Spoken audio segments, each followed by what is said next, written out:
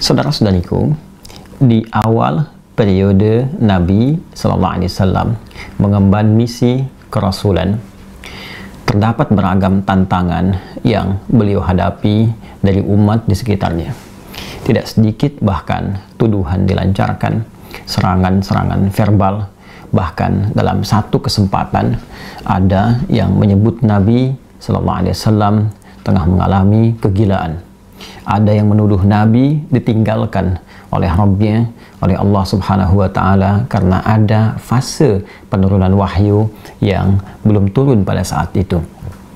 Ada yang menyebut beliau dengan tuduhan hoax, menyebarkan bahwa beliau seorang penyair, beliau terkena penyakit tertentu, dan tuduhan-tuduhan lain yang melahirkan teror-teror verbal atau bahkan juga gangguan fisik baik kepada beliau ataupun sahabat-sahabat Nabi Sallallahu Alaihi Wasallam. Dalam kesempatan inilah kemudian Allah Subhanahu Wa Taala menurunkan dua surat sekaligus. Yang dahsyatnya dengan dua surat ini Allah ingin mengentaskan segala kegundahan yang dirasakan. Allah ingin menepikan segala kesedihan yang pernah dialami oleh Rasulullah SAW pada saat itu.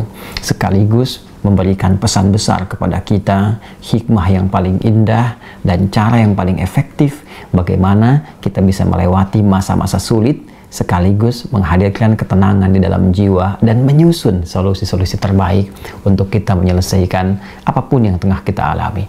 Quran surah ke-93 dan surah ke-94 Ad-Duha dan Al-Insyirah diturunkan oleh Allah Subhanahu wa taala untuk memberikan kedamaian, ketentraman sekaligus solusi dalam setiap persoalan yang kita alami, belajar dari hikmah yang pernah dialami Rasulullah sallallahu alaihi wasallam.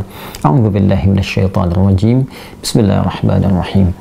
Wadduha wal laili idza saja ma wadda'aka rabbuka wa ma qala. Akhiratu khairul laka minal ula ولسوف يعطيك ربك فترضى. ألم يجدك يتيما فآوى؟ ووجدك ضالا فهدى. ووجدك عائلا فأغنى. فأما اليتيم فلا تقهر وأما السائل فلا تنهر. وأما بنعمة ربك فحدث.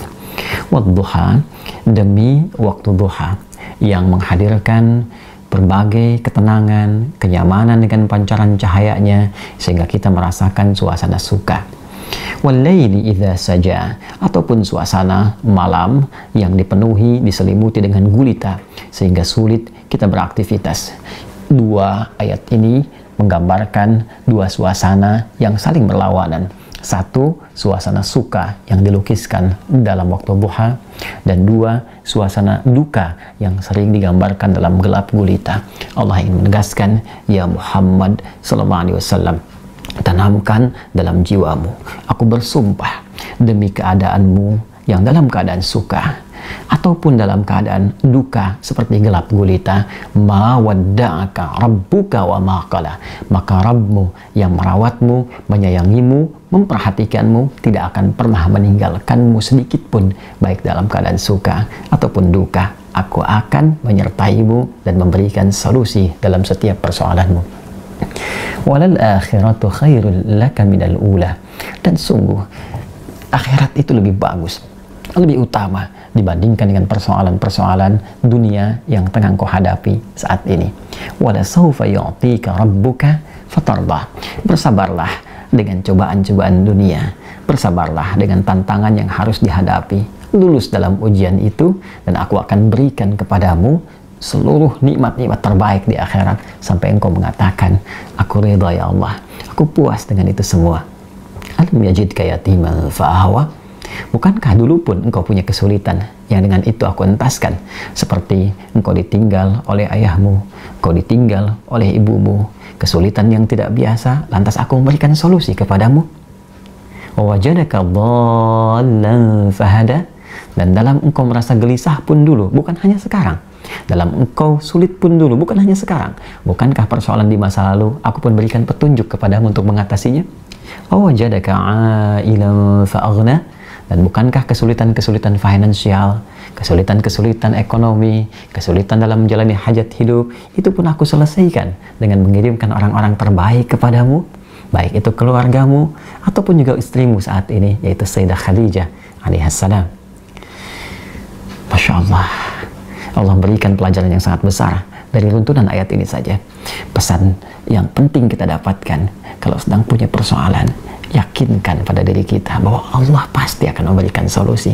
Kata Allah, hei orang beriman, dalam keadaan suka ataupun duka, aku pasti akan perhatikanmu. Aku gak akan pernah meninggalkanmu. Tanamkan pada dirimu. Kalau punya kesulitan sekarang, jangan kau banyak keluhkan. Bukankah dulu pun kau punya banyak kesulitan? Dan aku telah tuntaskan. Maka apakah seribu kesulitan yang dulu yang telah aku selesaikan, berikan solusi, akan dikalahkan dengan satu persoalan ini saja? Tidakkah engkau mengingat persoalan-persoalan di masa lalu? Yang saat engkau lahir, aku datangkan orang tua untuk merawatmu. Aku berikan rezeki untuk membuat engkau tentram. Maka dari seribu persoalan yang telah aku selesaikan terdahulu, aku berikan solusi. Apakah tidak engkau ingat untuk memberikan kekuatan pada dirimu? Hei, dulu pun pernah diselesaikan. Maka yang ini pun pasti akan dituntaskan.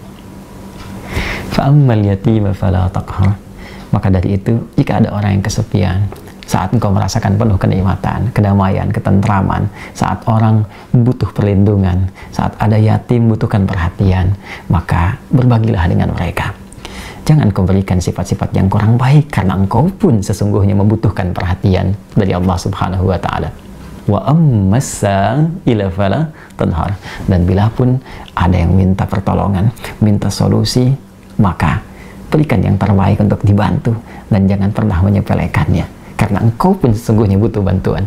Wa amma bi ni'mati rabbika dan dengan segala nikmat yang telah Allah berikan kepadamu maka ungkapkanlah sebagai syukur kepada Allah Subhanahu wa taala dengan meningkatkan kesolehan, kebaikan dan takarrub kepada Allah Subhanahu wa taala.